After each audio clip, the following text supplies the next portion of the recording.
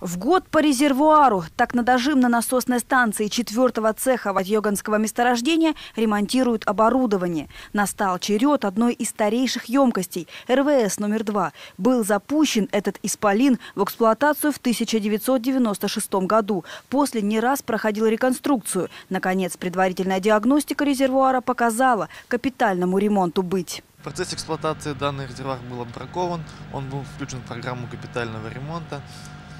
В нее в объем капремонта в, данном, в этом году войдут замена двух поясов, кровли, днища, внутренней обвязки, центральной стойки. Также планируется нанесение внутреннего ан- антикоррозионного покрытия. Предыдущий ремонт был в 2002 году, Капитальный ремонт предполагает большой объем работ, как по времени, так и по затраченным силам. Сейчас резервуар выглядит так. Идет демонтаж нижнего пояса.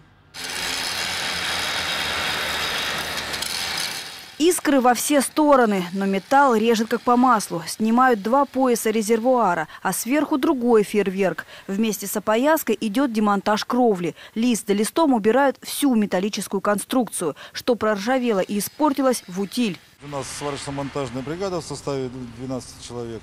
Ну и плюс э, подсобные рабочие, стропольщики, которые обеспечивают производство.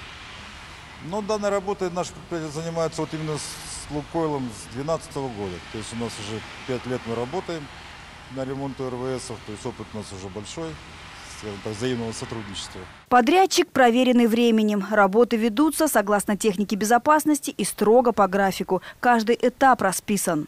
Следующий этап работы – замена днища, то есть монтаж новых листов днища, замена вот центральной стойки на новую.